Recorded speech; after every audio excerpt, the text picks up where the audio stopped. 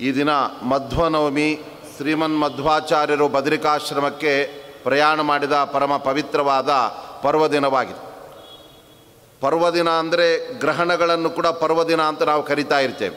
ಆದರೆ ಕೆಲವು ಸಂದರ್ಭದಲ್ಲಿ ವರ್ಷದಲ್ಲಿ ಒಂದಾದರೂ ಸೂರ್ಯಗ್ರಹಣ ಅಥವಾ ಚಂದ್ರಗ್ರಹಣ ಎಂಬ ಆ ಪರ್ವಕಾಲ ನಮಗೆ ಬರೋದೇ ಆದರೆ ಪ್ರತಿ ವರ್ಷವೂ ಕೂಡ ತಪ್ಪದೇ ಬರುವ ಏಕೈಕ ಪರ್ವ ಆ ಸಮಯ ಅಂತಂದರೆ ಅದು ಶ್ರೀಮದ್ ಆಚಾರ್ಯರ ಬದರಿಕಾಶ್ರಮ, ಆ ಪ್ರಯಾಣದ ಪ್ರಮುಖವಾದಂತಹ ಪರ್ವದಿನವಾಗಿದೆ. ಇಂತಹ ಸಂದರ್ಭದಲ್ಲಿ ಶ್ರೀಮದ್ ಆಚಾರ್ಯರು ಭಗವಂತನ ಅಪ್ಪಣೆಯಿಂದ ಯಾವ ಕಾರ್ಯವನ್ನು ಮಾಡೋದಕ್ಕೋಸ್ಕರ ಭೂಲೋಕದಲ್ಲಿ ಅವತಾರ ಮಾಡಿದ್ದರೋ ಅದೆಲ್ಲವನ್ನು ಯಶಸ್ವಿಯಾಗಿ ಅವರು ನಿರ್ವಹಿಸಿ, ತನ್ನ ಭಕ್ತರನ್ನೆಲ್ಲ ಅನುಗ್ರಹಿಸಿ, ಅನಂತರದಲ್ಲಿ ಅವರಿಗೆ ಕೊಡಬೇಕಾದದ್ದನ್ನು ಕೊಟ್ಟು ನೀವು ಉಳಿಸಿಕೊಳ್ಳುವ ಜವಾಬ್ದಾರಿ ಅದು ನಿಮ್ಮದು ಎಂಬುದಾಗಿ ಹೇಳಿ ಅದೃಶ್ಯರಾಗಿ ಇವತ್ತಿಗೂ ಕೂಡ ಬದರಿಕಾಶ್ರಮದಲ್ಲಿ ವೇದವ್ಯಾಸ ದೇವರ ಸನ್ನಿಧಾನದಲ್ಲಿ ಅವರಿದ್ದಾರೆ. ಅವರು ರಚನೆ ಮಾಡಿದ ಗ್ರಂಥಗಳೆಲ್ಲ ನಿರಂತರವಾಗಿ ಅವುಗಳು ಪಾಠ ಪ್ರವಚನದ ಹಿನ್ನೆಲೆಯಲ್ಲಿ ಅವುಗಳ ಪ್ರಮೇಯಗಳನ್ನು, ತತ್ವಗಳನ್ನು ಜನಗಳು ತಿಳಿದುಕೊಳ್ಳಲಿ ಎಂಬತಕ್ಕಂತಹ ಮಹೋನ್ನತವಾದ ಉದ್ದೇಶದಿಂದ ಆ ಕಾರ್ಯವನ್ನು ಶ್ರೀಮದ್ ಆಚಾರ್ಯರು ಮಾಡಿದ್ದಾರೆ. ಈ ಎಲ್ಲ ಗ್ರಂಥಗಳ ಮುಂದೆ ಕೆಲವು ಶತಮಾನಗಳ ನಂತರ ಲುಪ್ತವಾಗಿ ಆ ಗ್ರಂಥಗಳೇ ಸರಿಯಾದ ರೀತಿಯಲ್ಲಿ ನಮಗೆ ದೊರಕದೇ ಇರತಕ್ಕಂಥ ಒಂದು ಪ್ರಸಂಗ ಬಂದಾಗ, ಆ ಸಂದರ್ಭದಲ್ಲಿ ಶ್ರೀಮದ್ ಆಚಾರ್ಯರ ತಮ್ಮಂದಿರಾದ ವಿಷ್ಣು ತೀರ್ಥರು ಅವರು ತಪಸ್ಸನ್ನು ಮಾಡ್ತಾ ಸುಬ್ರಹ್ಮಣ್ಯ ಕ್ಷೇತ್ರದಲ್ಲಿ ಕುಮಾರಧಾರಾ ಪರ್ವತದ ಪರಿಸರದಲ್ಲಿದ್ದಾರೆ. ಈ ಎಲ್ಲ ಗ್ರಂಥಗಳು ಸಿಗದೆ ಸಂಪೂರ್ಣವಾಗಿ ಮಧ್ವ ಸಿದ್ಧಾಂತ ಅದು ಜನಗಳ ಮಾನಸದಿಂದ ಅದು ದೂರವಾಗುವಂತಹ ಪ್ರಸಂಗ ಬಂದಾಗ ಅವರು ತಾವು ತಾಮ್ರದ ಒಂದು, ಆ ತಗಡಿನಲ್ಲಿ ಬರೆದಿಟ್ಟಿರ್ತಕ್ಕಂತಹ ಆ ಗ್ರಂಥಗಳನ್ನೆಲ್ಲ ಹೊರಗಡೆ ತೆಗೆದು ಪುನಃ ಆ ಸಿದ್ಧಾಂತವನ್ನು ಪ್ರಸಾರ ಮಾಡುವ ಒಂದು ಉದ್ದೇಶವನ್ನು ಹೊಂದಿ ಇವತ್ತಿಗೂ ಕೂಡ ಅವರು ತಪೋನಿರತರಾಗಿ ಇದ್ದಾರೆ. ಮಧ್ವಾಚಾರ್ಯರ ತಮ್ಮಂದಿರಾದ ವಿಷ್ಣು ತೀರ್ಥರು ಇದರಿಂದ ಗೊತ್ತಾಗ್ತಾ ಇದೆ ಶ್ರೀಮದ್ ಆಚಾರ್ಯರ ಸಿದ್ಧಾಂತಕ್ಕೆ ಯಾವತ್ತೂ ಕೂಡ ಆ ಕೊನೆ ಎಂಬತಕ್ಕಂಥ ದಿಲವೇ ಇಲ್ಲ. ನಿರಂತರವಾಗಿ ಸಜ್ಜನರ ಹೃದಯಕ್ಕೆ ಆ ತತ್ವದ ಅಮೃತ ಸೇಚನವನ್ನು ಮಾಡುವುದಕ್ಕೋಸ್ಕರ ಶ್ರೀಮದ್ ಆಚಾರ್ಯರು ಅವರ ಪರಂಪರೆಯಲ್ಲಿ ಬಂದಿರತಕ್ಕಂಥ ಜ್ಞಾನಿಗಳೆಲ್ಲ ಸದಾ ಸಿದ್ಧರಾಗಿರ್ತಾರೆ ಅನ್ನತಕ್ಕಂಥ ಅಂಶ ಇದರಿಂದ ನಮಗೆ ಗೊತ್ತಾಗ್ತಾ ಶ್ರೀಮದ್ ಆಚಾರ್ಯರ ಅವತಾರ ಮಾಡಬೇಕಾಗಿದ್ದರೆ ಆ ಸಂದರ್ಭದಲ್ಲಿ ಎಂತಹ ಪರಿಸ್ಥಿತಿ ಇತ್ತು? ಸಮಾಜದಲ್ಲಿ ಲೋಕದಲ್ಲಿ ಯಾವ ರೀತಿ ಸಜ್ಜನರ ಪರಿಸ್ಥಿತಿ ಉಂಟಾಗಿತ್ತು ಎಂಬುದನ್ನು ನಾರಾಯಣ ಪಂಡಿತಾಚಾರ್ಯ ಬಹಳ ಸುಂದರವಾಗಿ ತಮ್ಮ ಸುಮಧ್ವಿಜ ಮಹಾಕಾವ್ಯದಲ್ಲಿ ವಿಸ್ತಾರವಾಗಿ ಎಲ್ಲ ಅಂಶಗಳನ್ನು ನಮಗೆ ಒದಗಿಸಿಕೊಟ್ಟಿದ್ದಾರೆ. ವಿಜ್ಞಾನ ಭಾನುಮತಿ ಕಾಲಬಲೇನ ಲೀನೆ ದುರ್ಭಾಷ್ಯ ಸಂತಮಸ ಸಂತತಿತಃ ಜನ ಜನೇ ಅಂಧೆ ಸತಾಂ ಸ್ಖಲತಿ ಖಿನ್ನ ಹೃದೋ ಮುಕುಂದಂ ದೇವಾಶ್ಚತುರ್ಮುಖ ಮುಖಾ ಶರಣಂ ಪ್ರಜಗ್ಮುಹು. ದ್ವಾಪರಯುಗದ ಕೊನೆಯಲ್ಲಿ ಈ ಜ್ಞಾನ ಬಹಳ ಕಡಿಮೆ ಆಗ್ತಾ ಬಂದುಬಿಡ್ತು. ಗೌತಮ ಋಷಿಗಳ ಶಾಪದಿಂದ ಎಲ್ಲ ಬ್ರಾಹ್ಮಣರು ಕೂಡ ತಮ್ಮ ತತ್ವಜ್ಞಾನವನ್ನು ಅವರು ಕಳೆದುಕೊಂಡು ಬಿಟ್ಟಾಗ ರುದ್ರಾದಿ ದೇವತೆಗಳಿಗೆ, ಇಂದ್ರಾದಿ ದೇವತೆಗಳು ಕೂಡ ಅವರು ಕೂಡ ಸಂದೇಹವನ್ನು ಪಡತಕ್ಕಂಥ ಪರಿಸ್ಥಿತಿ ಬಂದಾಗ ಆ ಸಂದರ್ಭದಲ್ಲಿ ತತ್ವಜ್ಞಾನವೆಂಬ ಸೂರ್ಯ ಮುಳುಗಿ ಹೋಗಿಬಿಟ್ಟಿದ್ದಾನೆ. ಸೂರ್ಯ ಮುಳುಗಿದರೆ ಎಲ್ಲ ಕಡೆಯಲ್ಲೂ ಕೂಡ ಬರೀ ಕತ್ತಲೆಯೇ ಕತ್ತಲೆ. ಅದರಂತೆ ಎಲ್ಲ ಕಡೆಯಲ್ಲೂ ಕೂಡ ದುರ್ದರ್ಶನಗಳ ಒಂದು ಕಗ್ಗತ್ತಲೆ ಅದು ಗಾಢವಾಗಿ ಆವರಿಸಿಬಿಟ್ಟಾಗ, ತತ್ವಜ್ಞಾನವೆಂಬ ಸೂರ್ಯನ ಬೆಳಕೆ ಇಲ್ಲದೆ ಇದ್ದಾಗ ಎಲ್ಲ ಸಜ್ಜನರು ಕೂಡ ಸರಿಯಾದ ಮಾರ್ಗವನ್ನು ಅವರು ಹುಡುಕಲಾರದೆ, ಅವರು ಮಾರ್ಗವನ್ನು ತೊರೆದು ಅಮಾರ್ಗದಲ್ಲಿ ಹೋಗುವಂತಹ ಒಂದು ಪ್ರಸಂಗ ಬಂದಾಗ ಆ ಸಂದರ್ಭದಲ್ಲಿ ದೇವತೆಗಳೆಲ್ಲ ಭಗವಂತನಲ್ಲಿ ಬಂದು ಪ್ರಾರ್ಥನೆ ಮಾಡ್ತಾ ಇದ್ದಾರೆ. ಸ್ವಾಮಿ, ನೀವು ವೇದವ್ಯಾಸ ರೂಪದಿಂದ ಬ್ರಹ್ಮಸೂತ್ರಗಳನ್ನು ರಚನೆ ಮಾಡಿ, ಅನಂತರದಲ್ಲಿ ಮಹಾಭಾರತ ಭಾಗವತಾದಿ ಗ್ರಂಥಗಳನ್ನು ರಚನೆ ಮಾಡಿದ್ದರೂ ಕೂಡ ಆ ಎಲ್ಲ ಗ್ರಂಥಗಳಿಗೆ ಅನೇಕರು ಅಪವ್ಯಾಖ್ಯಾನಗಳನ್ನು ಮಾಡಿ. ನಿಜವಾದ ವೇದವ್ಯಾಸ ದೇವರ ಆಂತರ್ಯ ಸೂತ್ರಕಾರರಾದ ವೇದವ್ಯಾಸ ದೇವರ ಅಭಿಪ್ರಾಯ ಅದು ಕಣ್ಮರೆಯಾಗಿ ಬಿಡ್ತಾ ಇದೆ.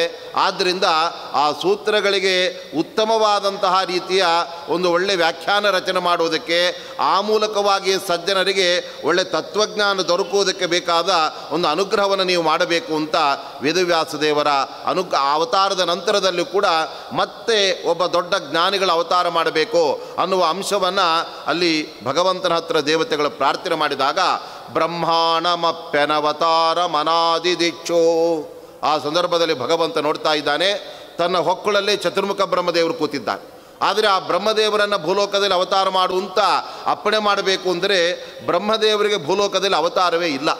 ಏಕೆಂದರೆ ಈ ಬ್ರಹ್ಮದೇವರೇ ಹಿಂದೆ ವಾಯುದೇವರಾಗಿದ್ದರಿಂದ ಏಕೆಂದರೆ ವಾಯುಪಟ್ಟದಲ್ಲಿ ಇರ್ತಕ್ಕಂಥವರೇ ಯಾವಾಗಲೂ ಕೂಡ ಮುಂದೆ ಬ್ರಹ್ಮ ಪದವಿಗೆ ಬರ್ತಕ್ಕಂಥವರಾಗ್ತಾರೆ. ಹಾಗಿರುವಾಗ ಈ ಇವತ್ತಿನ ಈ ಕಲ್ಪದ ಬ್ರಹ್ಮದೇವರೇ ಹಿಂದಿನ ಆ ಕಲ್ಪದಲ್ಲಿ ಅವರು ವಾಯುದೇವರಾಗಿದ್ದದ್ದರಿಂದ ಅವರು ಈ ಬ್ರಹ್ಮಾಂಡದ ಒಳಗಡೆ ಅವತಾರ ಮಾಡಿ ಸಜ್ಜನರಿಗೆ ತತ್ವಜ್ಞಾನವನ್ನು ನೀಡುವ ಆ ಎಲ್ಲ ಕೆಲಸ ಅವರು ಮಾಡಿದ್ದರಿಂದಲೇ ಅದರ ಹಿನ್ನೆಲೆಯಲ್ಲಿ ಅವರಿಗೆ ಪ್ರಮೋಷನ್ ಆಗಿ ಭಗವಂತ ಸತ್ಯಲೋಕದ ಆಧಿಪತ್ಯವನ್ನು ಕೊಟ್ಬಿಟ್ಟಿದ್ದಾನೆ.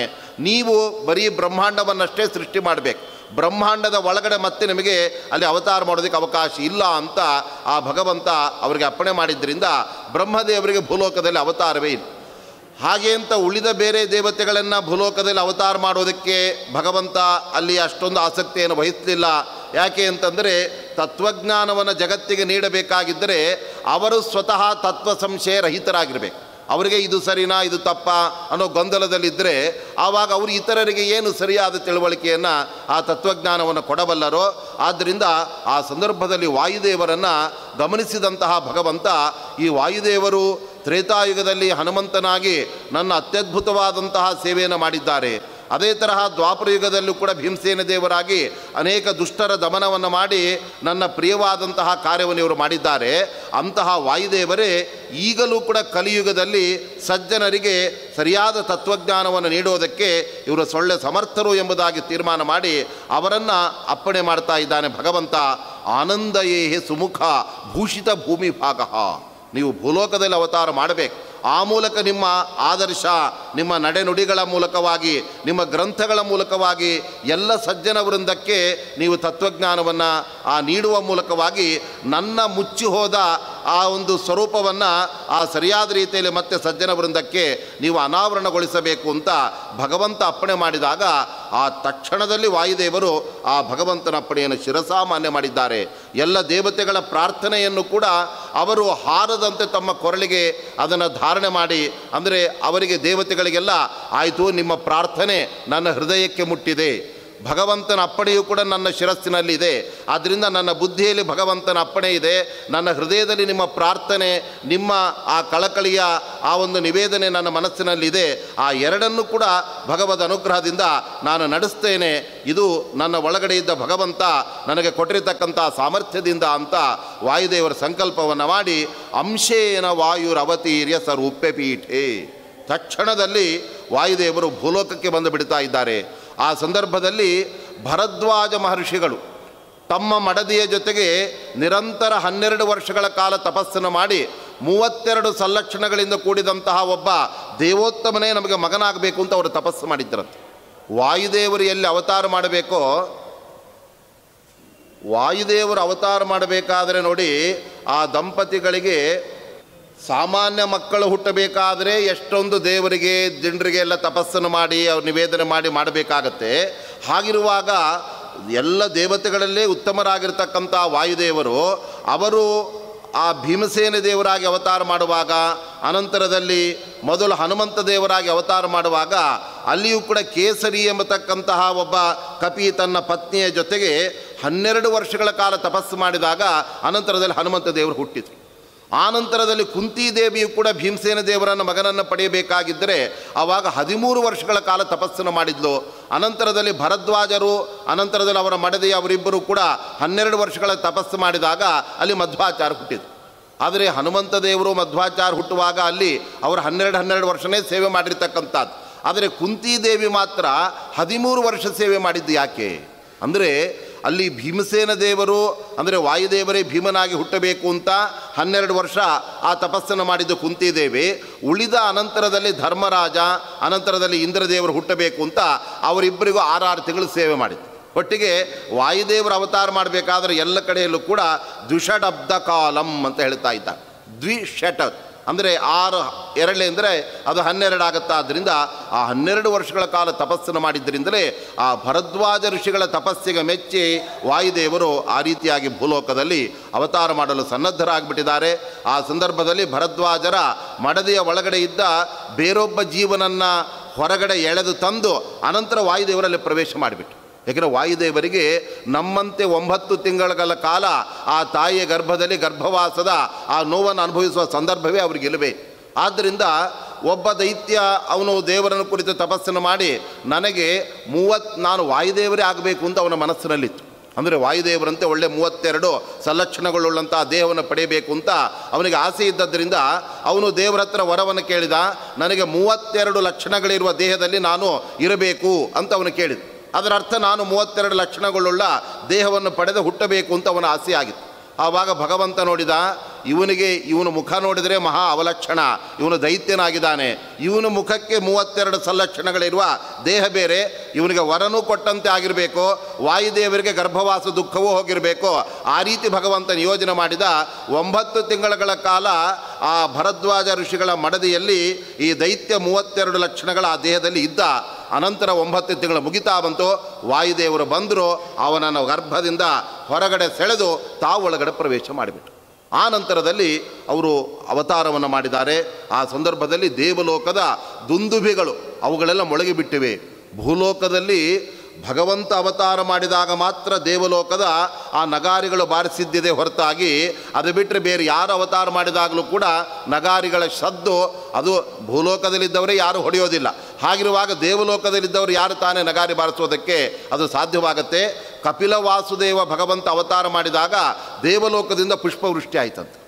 ನಂದನವನ ಅನಂತರದಲ್ಲಿ ಅಲ್ಲಿರ್ತಕ್ಕಂಥ ಸುಗಂಧಮಯವಾದ ಆ ಹೂಗಳನ್ನೆಲ್ಲ ಭಗವಂತನ ಮೇಲೆ ಅಲ್ಲಿ ಚೆಲ್ಲಿ ಅವರೆಲ್ಲ ಆನಂದ, ಆನಂದದ ಸಂಕೇತವಾಗಿ ಆ ನಗಾರಿಯನ್ನು, ದುಂದುಭಿಯನ್ನು ಅವರು ಮೊಳಗಿಸಿದ್ದಾರೆ. ಅದರ ನಂತರದಲ್ಲಿ ಭೂಲೋಕದಲ್ಲಿ ವಾಯುದೇವರ ಅವತಾರ ಮಾಡಿದಾಗ ಮಾತ್ರ ನೇದುಹು ದುಂದುಭಯ. ಆ ಸಂದರ್ಭದಲ್ಲಿ ದುಂದುಬಿಯ ಆ ಒಂದು ಮಾರ್ದನಿ ಎಂಬತಕ್ಕಂಥದ್ದು ಎಲ್ಲ ಕಡೆಯಲ್ಲೂ ಕೂಡ ಕೇಳಿ ಬರ್ತಾ ಇದೆ. ಆ ಸಂದರ್ಭದಲ್ಲಿ ಮೊಟ್ಟ ಮೊದಲು ಉಡುಪಿಗೆ ಬಂದು ಅಲ್ಲಿರುವ ಅನಂತಾಸನ ಎಂಬ ಪರಶುರಾಮ ರೂಪಿಯಾದ ಭಗವಂತನಿಗೆ ನಮಸ್ಕಾರ ಮಾಡಿ, ಅನಂತರದಲ್ಲಿ ಅವರು ಪಾಜಕ ಕ್ಷೇತ್ರಕ್ಕೆ ತಮ್ಮ ತಾಯಿಯ ಗರ್ಭದಲ್ಲಿ ಹೋಗಿ ವಾಯುದೇವರು ಸೇರಿದ್ದಾರೆ. ಯಾಕೆ ಪಾಜಕ ಕ್ಷೇತ್ರದಲ್ಲಿ ಅವತಾರ ಮಾಡಿದ್ದಾರೆ ಶ್ರೀಮದ್ ಆಚಾರ್ಯರು ಅಥವಾ ವಾಯುದೇವರು ಅಂತಂದರೆ, ಅದಕ್ಕೆ ನಮ್ಮ ವಾದಿರಾಜ ಸ್ವಾಮಿಗಳು ಹೇಳ್ತಾ ಇದ್ದಾರೆ. ಪವಿತ್ರಂ ಪಾಜಕಕ್ಷೇತ್ರಂ ಕೋನ ಸೇವೇತ ಕೋವಿದ ಸತ್ಯಲೋಕೇಶ್ವರ ಪ್ರಾಣ ಯತ್ರಾವತರದುತ್ಸುಕಃ ಅಂತ ಇದ್ದಾರೆ.